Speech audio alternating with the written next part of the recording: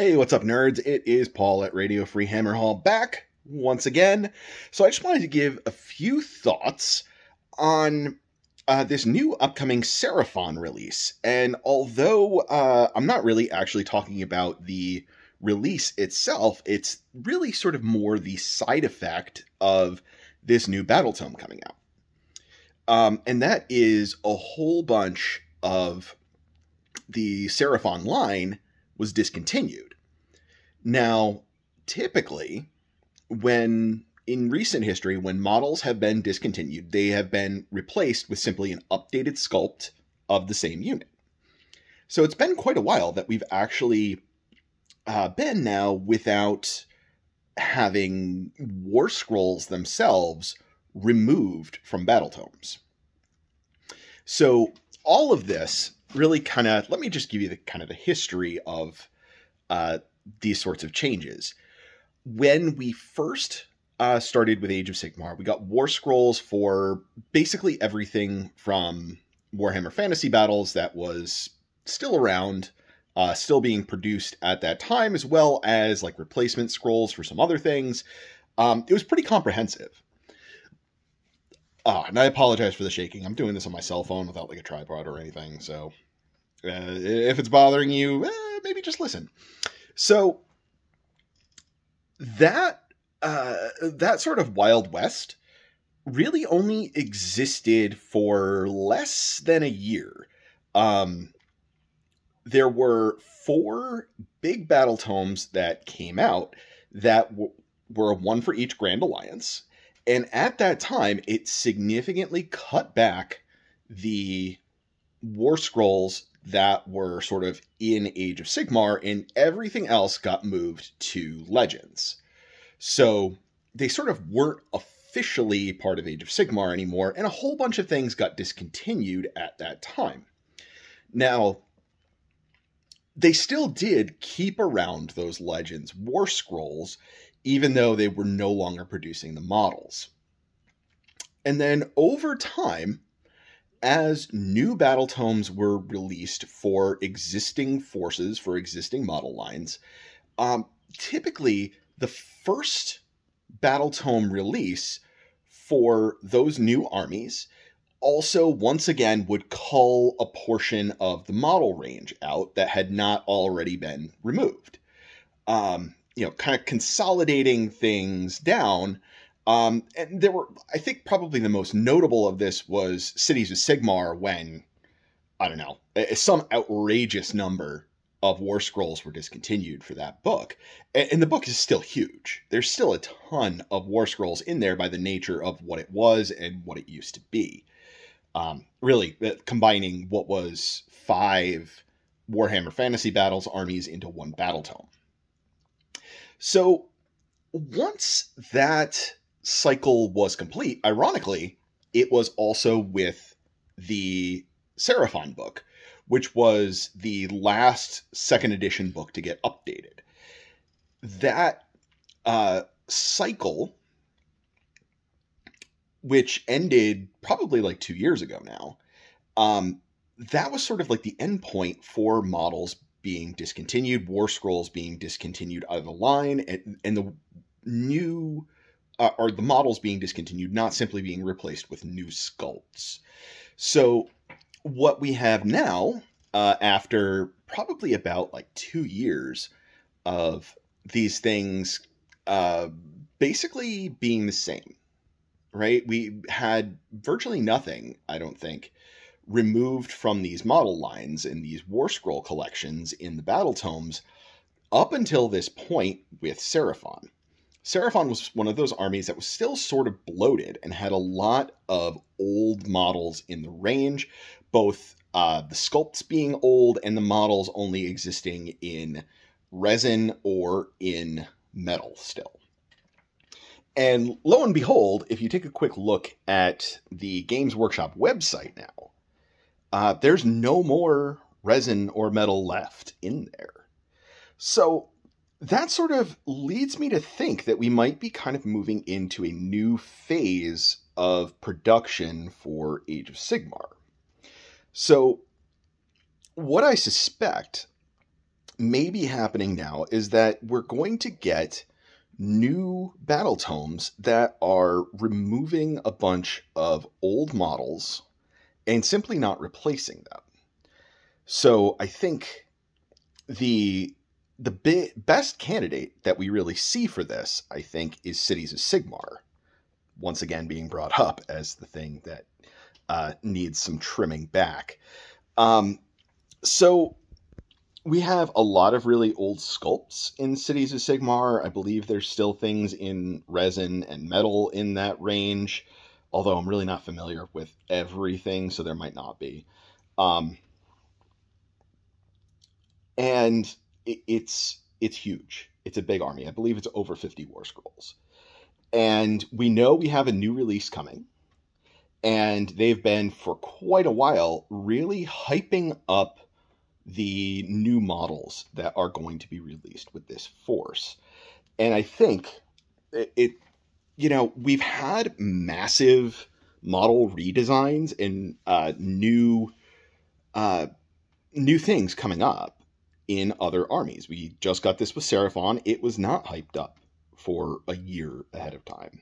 I think more than a year with Cities of Sigmar. Um, same thing with Slaves to Darkness when that release came out, it was a huge replacement of a lot of existing sculpts. So this sort of leads me to believe with Cities of Sigmar, we might actually see like a big shift and a big reorganization of how that army works, as well as a whole bunch of the war scrolls, rather than being updated with new models, simply being removed. And I think it's an interesting possibility. There, again, is a lot of old stuff in Cities of Sigmar, a lot of really crappy old sculpts. And a lot of what's in there was just kind of inherited from uh, Warhammer Fantasy Battles. And I, I think they, to a certain extent, I think they just didn't know what to do with it. Uh, other than um, you know, try and get as much out of the range as possible without completely pissing off the fan base of those armies. Um, which I think they kind of did with High Elves anyway, but then won them back with Lumineth. So, really, guys, this is kind of my thought on the direction that I'm anticipating Games Workshop to be taking in the future. Uh, cutting back model lines, creating some new war scrolls, and you know, overall kind of doing like big re releases and giving us a lot of new stuff to work with, but uh, in the process, narrowing the model range and simply getting rid of some tired war scrolls. Um, and it's been a while since we've really gotten rid of them, so it seems like it may be time, maybe sort of coinciding with uh, fourth edition, which we're all sort of anticipating coming next summer that would uh, really, I think, give us a new cycle of lines being refreshed.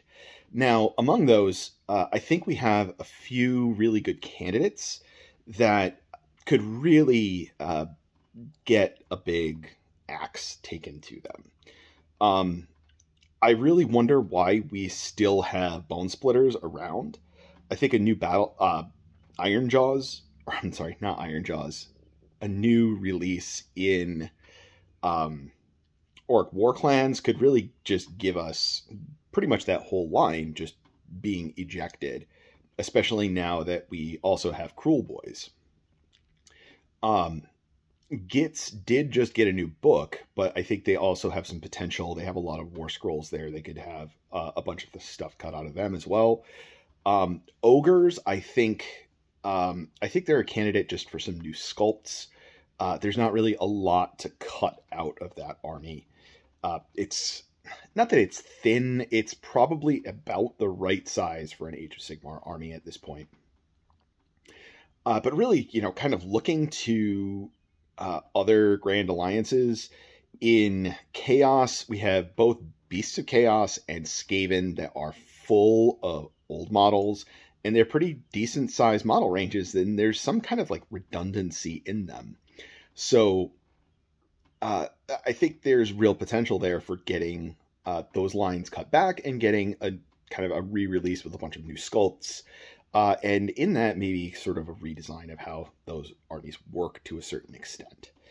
Um, and then over in order, as I mentioned, I'm I'm very I think we have like a 90% likelihood I would estimate. I, I, if I had to put money on a bunch of war scrolls being eliminated from Cities of Sigmar, I would absolutely be betting on that.